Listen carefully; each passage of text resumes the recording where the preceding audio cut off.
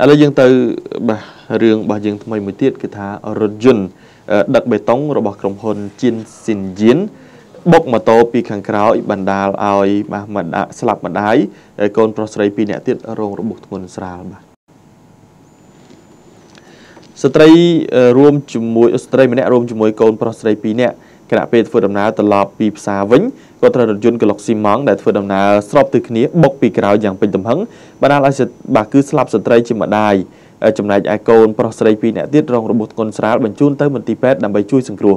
កាលពីវេលាម៉ោង9:20នាទីព្រឹកថ្ងៃទី22ខែមិថុនាឆ្នាំ2020ដែលស្ថិតនៅទល់មុខបាទគឺអាហារដ្ឋានអង្គតែនមួយតាមបណ្ដោយផ្លូវអង្គញាមងរទ្ធីកែងផ្លូវ1928ក្នុងសង្កាត់ភ្នំពេញថ្មីខណ្ឌសែនសុខ សមត្ថកិច្ចឲ្យដឹងថាសពស្ត្រីរងគ្រោះឈ្មោះថាវងសារង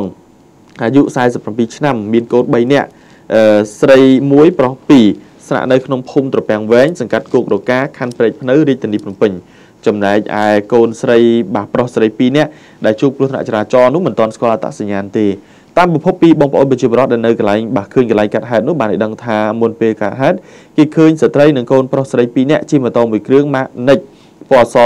ពាក់សាកលេខភ្នំពេញ 1EF 67 68ស្របទិសដៅពីកើតតលិចរួចក៏បត់ស្ដាំខណៈពេលនោះរថយន្តក្លុកស៊ីម៉ង់មួយគ្រឿងម៉ាក Hovo ពណ៌សពាក់ស្លាកលេខភ្នំពេញ 5A 2789ជិះក្នុងទិសដៅស្របគ្នា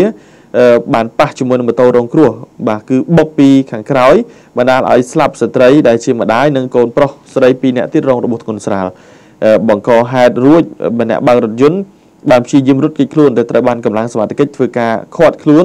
បានភ្លាមភ្លាមនៅនឹងកន្លែងកាត់ហេតុរួចបញ្ជូនទៅអធិការដ្ឋាននគរបាលខណ្ឌសែនសុខដើម្បីរងចាំប្រគល់ឲ្យជំនាញក្រោយកាត់ហេតុសមត្ថកិច្ចជំនាញចុះវាស់វែងនិងយករថយន្តបង្កនិងម៉ូតូរងគ្រោះទៅរសារទុកនៅការិយាល័យចរាចរណ៍ដើម្បីដោះស្រាយគ្នាចំណែកឯសាកសពស្ត្រីរងគ្រោះខាងលើត្រូវបានសមត្ថកិច្ចធ្វើកំណត់ហេតុប្រគល់ជូនក្រុមគ្រួសារយកទៅធ្វើបន់តាមប្រពៃណីនៅឯខណ្ឌព្រែកភ្នៅបាទ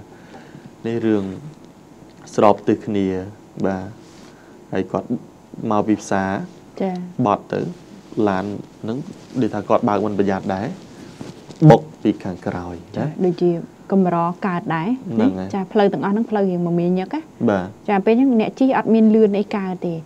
ស្រាប់តែលឿនមួយអញ្ចឹងគឺគ្រោះថ្នាក់ដល់អាយុជីវិតអញ្ចឹងតែម្ដងបាទអញ្ចឹងមិនថានឹងរឿងពិបាកពោហេតុអី ឡានក្លុកស៊ីម៉ងគាត់គាត់បញ្ញាប់បញ្ញាប់ចាហើយគាត់ធំគាត់មិនសូវមើលគេក្រោមប្រមាណទេមើលមិនសូវឃើញចឹងសូមឲ្យមានការបង្កើនការប្រុងប្រយ័ត្នបន្តិចណាសម្រាប់អ្នកបើកបរជាពិសេសឡានក្លុកស៊ីម៉ងឡានដឹកដីដឹកសាច់ឯនឹងតែម្ដងបាទចាហើយអ្នកជិះម៉ូតូក៏អញ្ចឹងដែរណាត្រូវមានការប្រយ័ត្នកុំគិតថាគេធំប្រហែលជាគេមិនមិនខ្លាំងទេ គេឃើញយើងគេជិះហើយមកទៅអត់ទេយើងកុំរុលទៅកន្លែងគេ ណាដែលបើសិនជាឃើញឡានធំហ្នឹងទុកឲ្យទៅទៅវាមិនមែនប៉ុន្មាននាទីហួសហ្នឹងយើងទៅខ្លាយជាទៅជាស្អីទេឲ្យទៅឲ្យផុតទៅចាសូមឲ្យអាជ្ញាធរខណ្ឌសកាត់ជួយផងគោរពតាមការណែនាំរបស់អាយដាមអាបារីធានីចាមានម៉ោងមានពេលត្រឹមត្រូវប៉ុន្តែកន្លងមកជួនកាលម៉ោងគេកំពុងស្ទះគាត់ទៅកន្លុកស៊ីម៉ងដែរចាគាត់ទៅប្រឈៀតកន្លុកដែរអាហ្នឹងជារឿងមួយដែលយើងឃើញថាជាបញ្ហាប្រឈមដូចគ្នាដែលធ្វើឲ្យផ្លូវយើងកកស្ទះខ្លាំងហើយគ្រោះថ្នាក់ព្រោះជួនកាលយើងធម្មតា អ្នកបើកឡានតូចងាយមើលឆ្វេងស្ដាំមុខក្រោយអ្នកបើកឡានធំជួនកាលភ្នែកគាត់នៅមុខខាងក្រោមទៀតហ្នឹងក្រោមជួនកាលមើលអត់ឃើញ